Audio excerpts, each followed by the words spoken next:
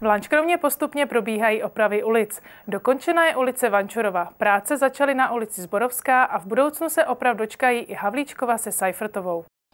Dvě ulice v lančkronské lokalitě Teslov projdou kompletní rekonstrukcí. Jedná se o část ulice Zborovská, která naváže na již dříve opravené části v úseku od ulice Havlíčkova až po křižovatku s ulicí Nerudova. Ulice Havlíčkova dostane nový kabát od křižovatky s ulicí Bedřicha Smetany po ulici Čelakovského. Jsou opravdu ve špatném technickém stavu, eh, proto se přistoupilo eh, k jejich opravě. Nyní máme vysoutěženou firmu, která bude realizovat opravu. Oprava by měla být dokončena až v příštím roce. Celkové náklady na kompletní rekonstrukci ulic budou hrazeny z městské pokladny. Jedná se o jednu investiční akci, eh, rámcově něco přes 10 milionů investičních nákladů.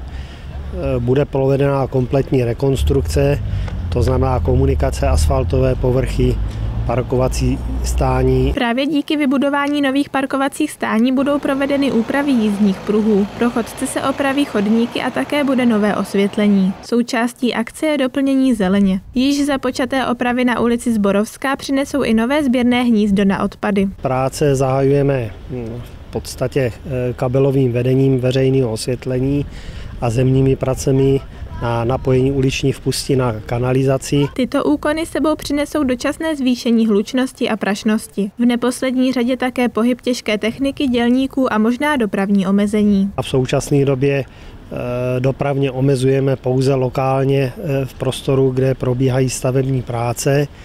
Eh, úplný omezení nastane až v době, kdy budeme v podstatě dělat stavbu samotné komunikace. Jak dalece rekonstrukce této ulice v letošním roce pokročí, závisí zejména na klimatických podmínkách. Obnova Havlíčkovy ulice je naplánovaná na příští rok.